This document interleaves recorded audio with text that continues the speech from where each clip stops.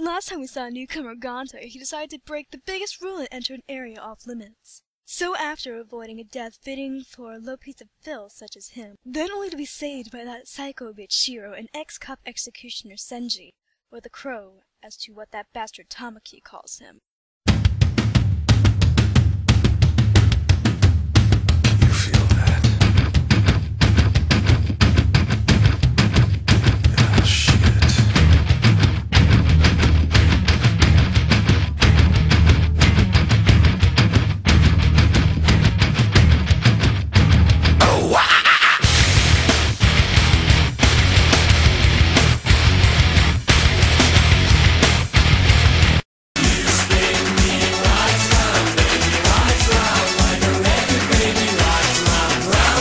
Oh shit, not again, and I was getting at the good part too. Sir, the new kid's gone along with that boy who's got a creepy but very hot sister. What?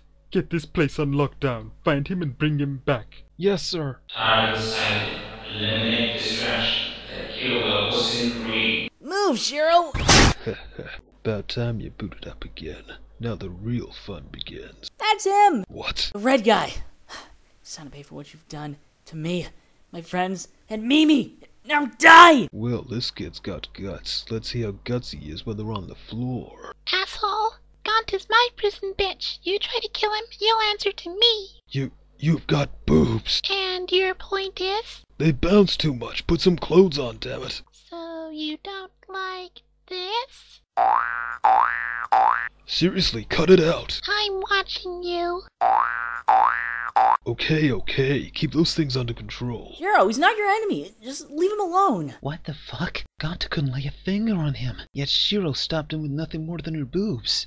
What the fuck? Right, target down. Preparing to take the weakling down, then barbecue his ass. Huh? What? Huh? What the fuck? My fucking dinner! She's fucking psycho. We can't hit her.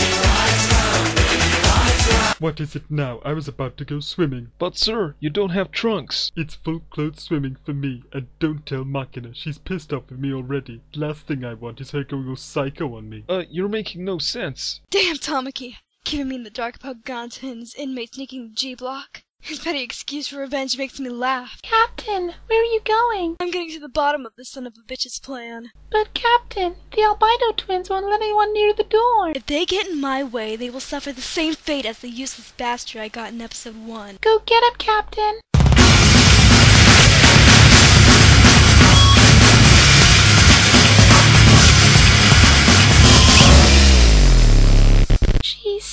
So hot. Where am I? So you're finally awake. You're being prepared for the big show tomorrow. The biggest one on television. My live Dead Man Death Match. Pretty catchy title. You, I remember you.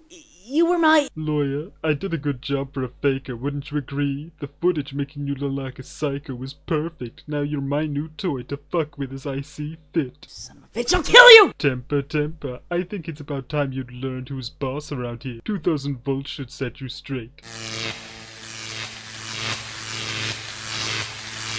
Ah, burning wuss, just like mother used to make. Sir, any more like that and you'll kill him. Spoil sport. Fine, I'll put him in front of this. Ah!